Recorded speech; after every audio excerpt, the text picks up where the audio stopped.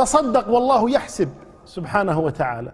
فإن أحدكم إذا تصدق بصدقة من كسب طيب أخذها الله بيمينه فيربيها له كما يربي أحدكم فلوه حتى يأتي يوم القيامة فإذا هي مثل جبل أحد. من منا لا يتمنى ذلك؟ من منا لا يريد ذلك؟ مثل جبل أحد؟ صدقة يسيرة. يقول النبي الكريم صلى الله عليه وسلم تصدق ولو بشق تمرة. كم تكلفك التمرة فضلا عن شق التمرة؟ وسواء كانت هذه التمرة اشتريتها أهديت لك أنت صدقت بها فأجرها لك. جاءتك صدقة فتصدقت بها جاءتك هدية فتصدقت بها. اشتريتها من مالك فتصدقت بها. في كل ذلك الأجر محسوب لك.